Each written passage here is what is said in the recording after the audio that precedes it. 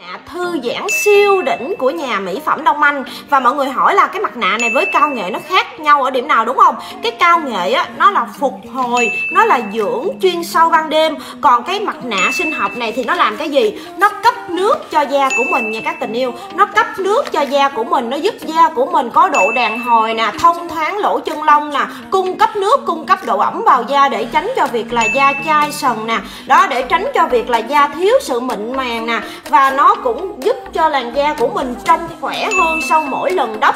Và thêm cái nữa là nó ôm sát vào trong da mặt như thế này luôn cho nên là rất là tiện lợi và đắp lên. Trời ơi nó lạnh nó the nó mát và vô cùng thư giãn luôn.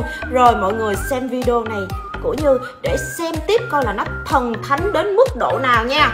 Trời ơi, cái thạch của nó nha, Nó trong suốt mà thật sự ở trên thị trường những cái nạ trong suốt như thế này bán không bao giờ dưới giá 200 đâu nha mọi người nha. Nhưng mà năm cái túi này của Như bán với giá là 175 ngàn. Không có nói giỡn đâu 175 ngàn cho năm gói này. Wow quá rẻ, quá đã luôn. Nhanh tay nhanh tay. Sở hữu và cũng như là cung cấp độ ẩm, cung cấp nước đúng cho làn da thì làn da sẽ trở nên rất đẹp nha các tình yêu. Hello, xin chào mọi người. Mọi người hay hỏi như cái cao nghệ với cái này khác nhau. Ở điểm nào cao nghệ là phục hồi chuyên sâu trị thâm nám bụng tàn ngang. Còn nạ này là cấp nước. Tại sao phải cấp nước mọi người? Thì nói cho mọi người nghe, tưởng tượng đơn giản. Cây không có nước thì cây khô cằn.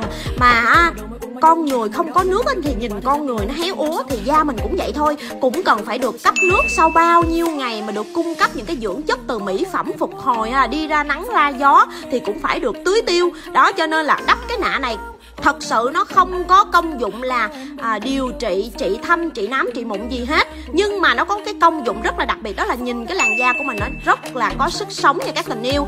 Nạ của như là nó có 5 gói hai gói vàng là trị viêm nè kháng mụn nè hai gói xanh là cấp ẩm trắng da gói đỏ là chống lão hóa. Ba công dụng trong cùng một hộp nạ mà chỉ có 175 ngàn. Đó năm gói này các bạn đắp là hơn 2 tuần mới hết nha. Nó ôm sát vào trong da mặt như thế này cho nên các bạn có thể di chuyển thoải mái cuối như thế thế nào nó cũng không hề rớt ra. Và đặc biệt nó ôm sát như thế, nó sẽ cấp ẩm và cung cấp dưỡng chất gấp 20 lần mặt nạ thông thường, mọi người thấy không? Dưỡng chất như cho là rất là nhiều và đặc biệt mọi người không cần để tủ lạnh nha. Mở ra đắp là nó rất là mát và cực kỳ thư giãn luôn. Dưỡng chất còn dư, mọi người có thể để tủ lạnh hôm sau xài cũng được nha. Đây, cực kỳ là sướng luôn.